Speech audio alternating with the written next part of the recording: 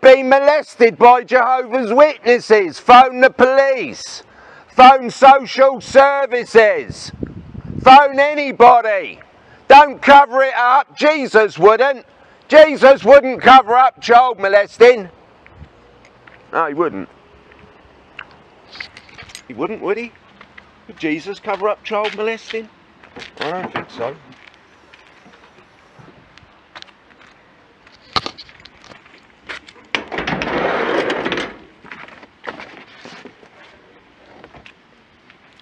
Yeah. Jehovah's Witness organisation allowed children to be raped. Then they throw them out of having, if they inform the police, you throw them out, didn't you? How many little children you sat down, eh? Eh? Asking what colour knickers they had on. How many times they would touch. You elders think it all funny, do ya? Eh? You perverted blood. How do you sleep at night? Eh? Hey, I used to sit a little child down in front of the guy who's molested her and asked her how did she feel when she was molested? Hey, what kind of men are ya? What kind of men disfellowship young people cutting them off from mummy and daddy and nanny and granddad? Hey, when little children need advice and help, what help you give them, eh? Cutting them off from mummy and daddy? Did Jesus do it? Did he? The prodigal son, his father ran and met the guy. There weren't no conditions. No, there wasn't. So why are you guys doing it? Eh? The Royal Australian Commission, Brother Jackson was there. You watch it, you'll see he was lying. He said they don't shun. Look on your organise. Look under what's it? Questions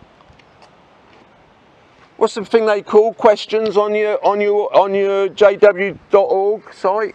Re regularly asked questions or frequently asked questions. Yeah. Do Jehovah's Witnesses shun? Look up the answer. They say they don't shun. You just said the bunker video, in ya?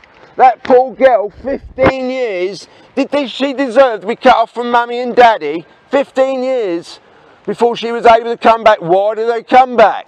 They come back because they love Jehovah? No, they miss their families. Come on, lads, defend it. Come on, you've got your Bibles, defend it. Come on, the two witness rule, defend it. Come on, God's word. I'll, I'll, I'll, I'll respect God's word. I'll respect it. Get it out, show me. Show me where you justify cutting young children off from their mums and their dads. Had your children, eh? Done it to your own children, eh? Make them come back to Jehovah's organisation, eh? Or you cut them off and treat them like they're dead, eh? Poor little children, struggling in life. You know how that bad life is. You make it better, do ya? Do you make life better cutting them off from mummy and daddy? Nanny and Grandad, done it to your own children, have you? Eh? When little children get molested by fellow Jehovah's Witnesses, please don't sit them down in front of the guy who's molested them and ask them what colour knickers they had on. How did they feel when they were being molested by a fellow Jehovah's Witness? Please don't do it. Jesus wouldn't do it. Jesus wouldn't cover up child molesting. No, he wouldn't. Jesus loved little children. He protected little children. He didn't stand by and make up all rules and regulations so as people can free, Jehovah's Witnesses can molest other people's children. No, he didn't. Phone the social services, phone the police when you hear of little children being molested by fellow Jehovah's Witnesses, please please. The Australian Royal Commission. The Australian Royal Commission, check it out on the internet. Brother Jackson was exposed for having covered up child molesting. When little children get molested by Jehovah's Witnesses, do you know what they do? They sit them down in front of the guy who's molested them and asked them what colour knickers they had on. How did it feel?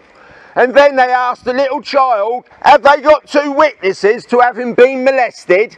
And when they haven't got two witnesses, having been molested by Jehovah's Witness, they chuck them out of the organisation, cut them off from their mummy and daddy. They're not allowed to tell the police. Jehovah's Witnesses are paying out millions in the courts for having allowed little children to be molested. Yeah.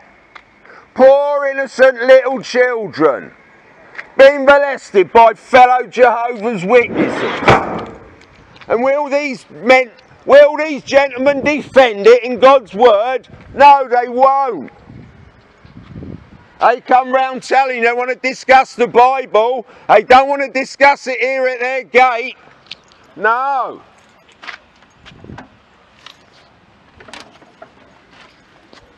No, they're not discuss it.